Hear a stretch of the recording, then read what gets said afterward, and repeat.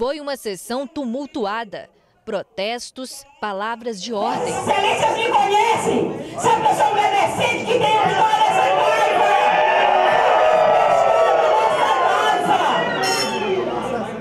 Vaias para quem se posicionou contra.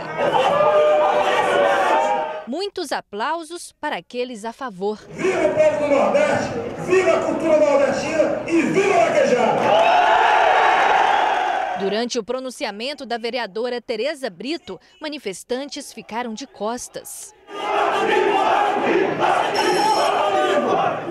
O debate durante a sessão foi provocado após denúncias de maus tratos de animais que participam de vaquejadas.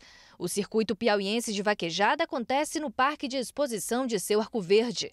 Segundo a denúncia, animais feridos estariam sendo transportados de forma irregular. Membros da Associação de Vaqueiros do Piauí e criadores negam a prática. Os cavalos eles só entram na, na, vaquejada com atestado de sanidade, com os exames em dias e a carteira de vacina. Isso é fiscalizado pela própria ADAP. Eles só podem entrar no parque assim. O gado também, ele vem com GTA, que é um guia de trânsito animal. Ele só tira esse guia se também ele tiver, a fazenda tiver cadastrada com a febre aftosa, tudo em dia, para que poder vir até os animais. A sociedade não permite mais que os animais sejam maltratados. Isso não é só porque a vereadora Tereza Brito está dizendo, somos nós que não permitimos mais isso é a sociedade que não permite, é os vaqueiros que não permitem. Nós precisamos sim de pessoas como elas. Só que eu acho que ela está invertendo os papéis. Ela, ao invés de, de, de tentar fiscalizar, ela está tentando marginalizar.